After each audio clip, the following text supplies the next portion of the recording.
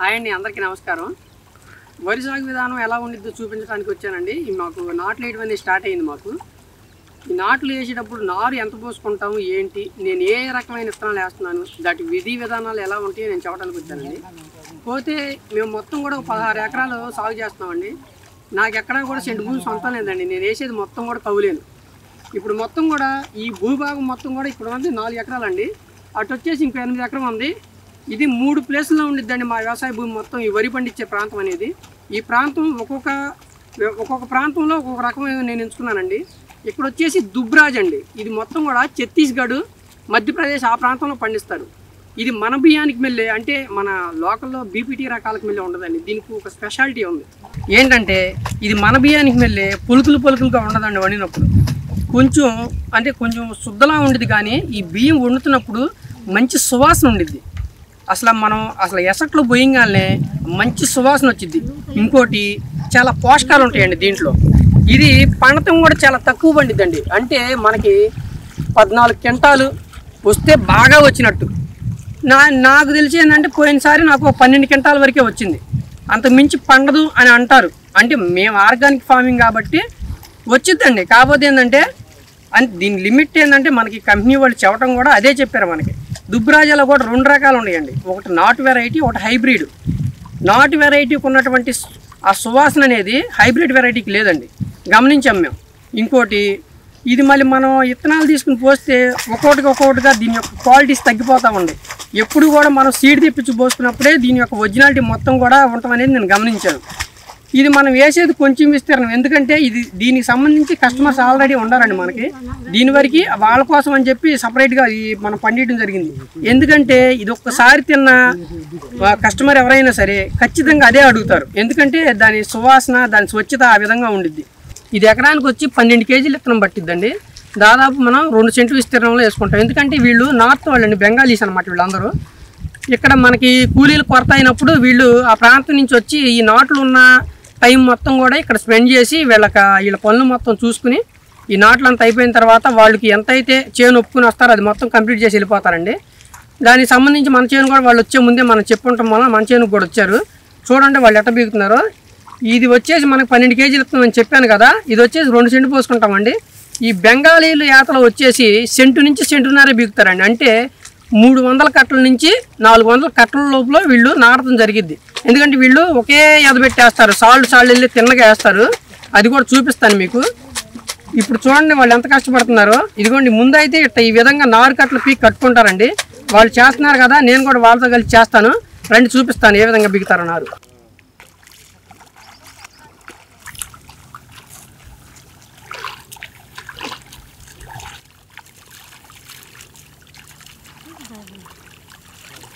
ఈ విధంగా చూస్తున్నారు కదండి. నార అనేది ఒకేసారి గుంపులు గుంపులుగా పట్టుకుని పీకకుండా రెండు మొక్కలు మూడు మొక్కలు పెట్టుకుని మనం పీకాలండి. అలా పీకితే ఏమైందంటే ఎవరైతే ఈ నారు నాటుతారో నాటుకునే వాళ్ళకి ఏంటంటే ఆ మొక్క తీసుకుని నాటడానికి సులభంగా ఉండిద్దండి. అందుకని ఒక మొక్క రెండు మొక్కలు వచ్చేటట్టే మనం పీక్కోవాలండి నారు పీకేటప్పుడు.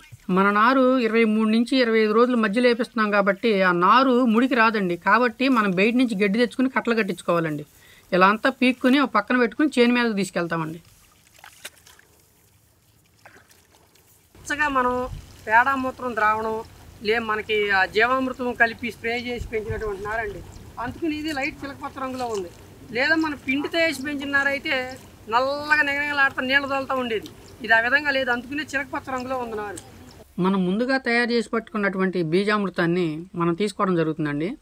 ఇది ఎలా తయారు చేస్తారంటే ఆవు పేడ ఆవు మూత్రం సున్నం అండి. ఈ మూడు కూడా కలిపి ఇది చేసుకుంటారంటే ఇది పెద్ద ప్రాసెస్ అండి. ఇది మళ్ళీ సపరేట్గా మీకు వీడియో చేసి పెడతాను. అయితే మనం ముందుగా పీకి పెట్టుకున్నటువంటి నారు కట్టల్ని ఈ బీజామృతంలో ముంచి ఇలా ముంచి పట్టుకున్నటువంటి కట్టల్ని పైకి లేపి ఒక ఐదు సెకండ్లు అట్టి పెడితే దాంట్లో ఉన్న వాటర్ మొత్తం కూడా కారి అందులో పడిపోద్దండి. తర్వాత వీటిని పక్కన ఒక నిమిషం అలా ఆరబెట్టుకుంటే ఏర్లకు మొత్తం ఆ బీజామృతం అనేది పట్టేసిద్దండి. పట్టేసిన తర్వాత ఈ కట్టలను అప్పుడు చేను మీద చేర్చుకుంటామండి.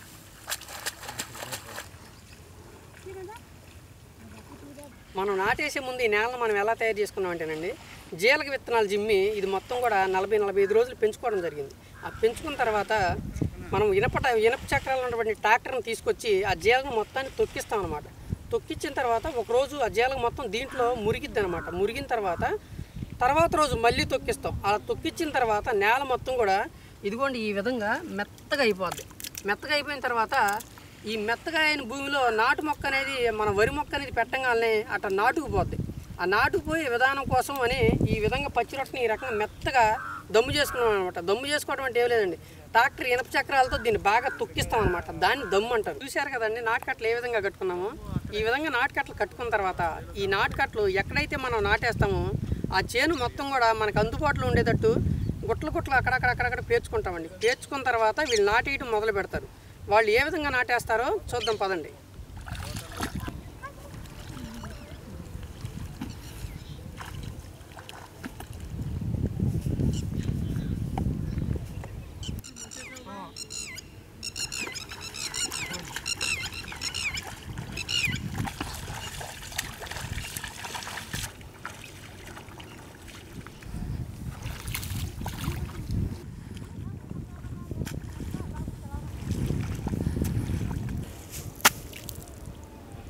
అక్కడ నాటు ఇటు స్టార్ట్ చేశారండి. అదిగోండి అక్కడి నుంచి వేసుకొస్తున్నారు మనది నాటు. చూపిస్తాను రండి. ఇక్కడ ఈవిడ ఏం చేస్తుందంటేనండి వాళ్ళు నాటేస్తున్నారు కదా ఆ నాటుకి ప్రతి పన్నెండు అడుగులకి ఒక దారిలాగా అంటే మనం నడవటానికి సౌలభ్యంగా ఉండే విధంగా ఆమె లెంత్ పెట్టి తాడు కట్టి దారులు తీస్తుందండి. ఆ దారులు తీయటం వల్ల ఏమైందంటే మనం రేపు ఏదైనా పని చేసుకోవాలంటే అంటే ఏదైనా పిచికారీ చేసుకోవాలంటే ఆ దారుల ద్వారా వెళ్ళి ఏ పనైనా చేసుకోవడానికి సులభంగా ఉండిద్దండి.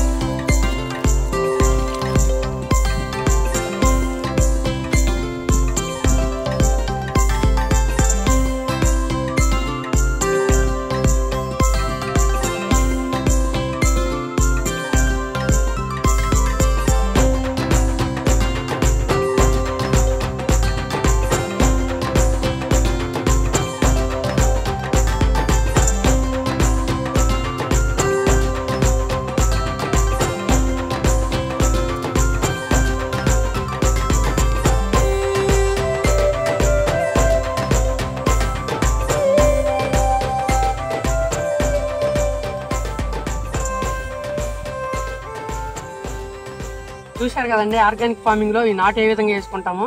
మీకు అర్థమైంది అనుకుంటున్నానండి. ఈ ఆర్గానిక్ పద్ధతిలో నాటు వేసుకోవడం అనేది ఈ వరి పండించే విధానంలో ఒక భాగం మాత్రమేనండి. తర్వాత దీని పెద్ద ప్రాసెస్ అండి ఇది. ఈ వరి పండించడం అనేది పెద్ద సబ్జెక్టు.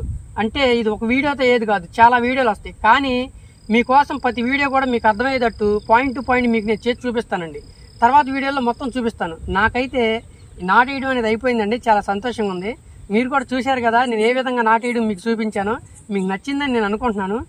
నా వీడియో కనుక మీకు నచ్చినట్టయితే లైక్ చేయండి షేర్ చేయండి కామెంట్ చేయండి. మరిన్ని వీడియోల కోసం నా ఛానల్ని సబ్స్క్రైబ్ చేయండి. ఉంటానండి మీ తెలుగు ఫార్మర్ గోపి.